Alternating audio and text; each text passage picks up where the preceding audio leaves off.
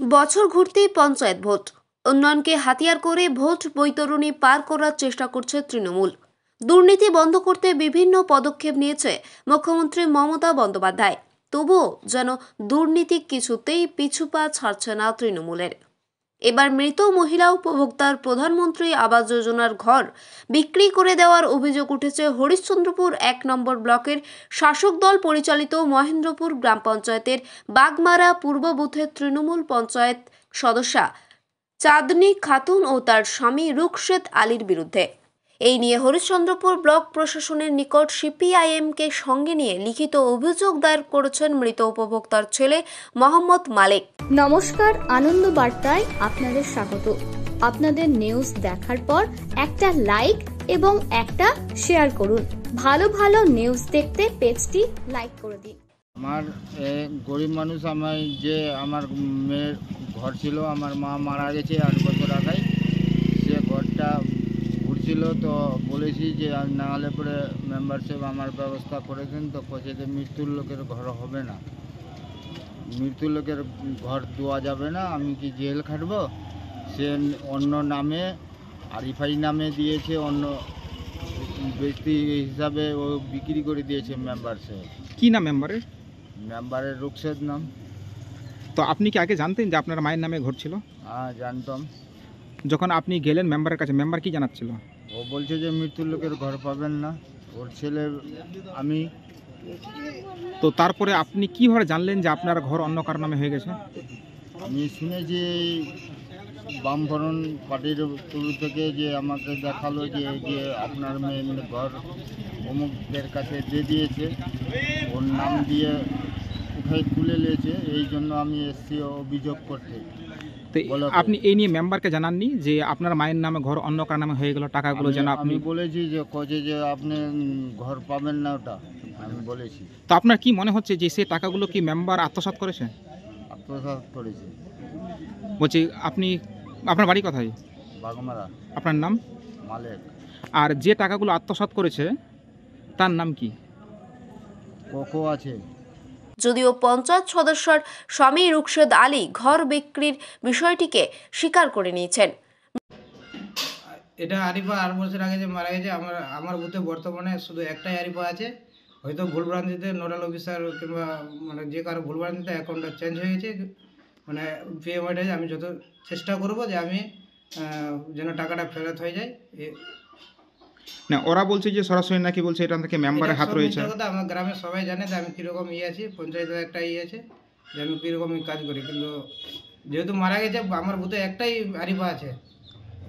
তো এখন কিছু ভুল ভ্রান্তিতে ওইটা হয়ে গেছে ও অন্য আরিফার নামে টাকাটা পেয়ে গেছে। বলছি টাকাগুলো কি সব ওর মানে দ্বিতীয় আরিফার নামে চলে গেছে? হ্যাঁ দ্বিতীয় আরিফার নামে চলে গেছে। তো এখন তো ওরা বলছে যে টাকাগুলো ফেরত না পেলে তারা বলছে না আন্দোলন নামবে নাকি ওরা হাইকোর্টে মামলা করব ভিডিও অফিসের সাথে যোগাযোগ করে পঞ্চায়েতের সাথে যোগাযোগ আমি চেষ্টা করব যেন টাকাগুলো ফেরত হয়। বলছে আপনি কি জানতেন যে তার টাকাটা অন্য কোনো অ্যাকাউন্টে চলে গেছে ট্রান্সফার হয়ে গেছে? না আমি জানতাম না এটা। তো আপনি কি মারফতে জানলেন বা কীভাবে জানলেন যে টাকাটা পরবর্তী কীভাবে জানলেন? না এটা পরবর্তীকালে যে পঞ্চায়েতের নোডাল অফিস আছে কি না তো ওখানে হয়তো কাগজ জমা হয়েছে যেহেতু আরিফা একটাই আছে আমার ওয়ার্ডে খরঙ্গপুর যাবার তো ওখান থেকে কাগজটা জমা হয়ে টাকাটা চলে গেছে। তো এখন রেজিস্ট্রেশন হয়ে গেছে। এখন আপনি কি উপায়ে টাকাটা তাকে ব্যাক করাবেন? আমি যে টাকাটা পেয়েছি ওর সাথে আমি কথা বলে আমি চেষ্টা করব আমরা পঞ্চায়েত প্রধানের সাথে যোগাযোগ করে বিডিও অফিসের সাথে যোগাযোগ করে আমি চেষ্টা করব।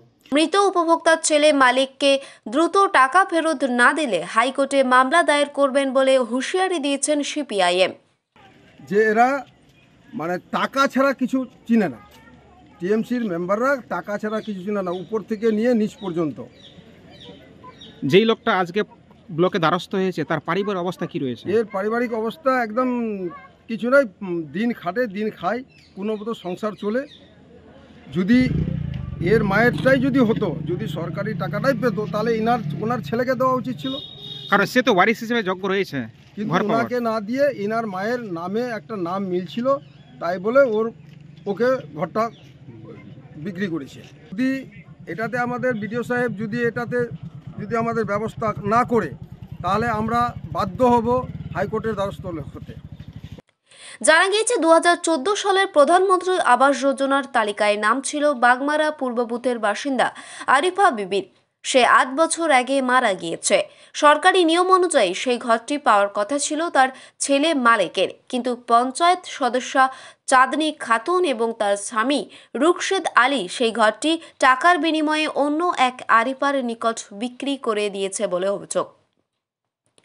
ইতিমধ্যে সে তিন কিস্তির টাকাও পেয়ে গিয়েছে। মৃতা উপভোক্তা আরিফা বিবির ছেলে তথা অভিযোগকারী মালেক জানান দু সালের প্রধানমন্ত্রী আবাস যোজনার তালিকায় তার মায়ের নাম ছিল। আট বছর আগে মারা গিয়েছে মা। সেই ঘরটি তাকে না দিয়ে গ্রামের অন্য এক আরিফার কাছে টাকার বিনিময়ে বিক্রি করে দিয়েছে। তিনি আরও জানান যে, সে একজন দিনমজুর।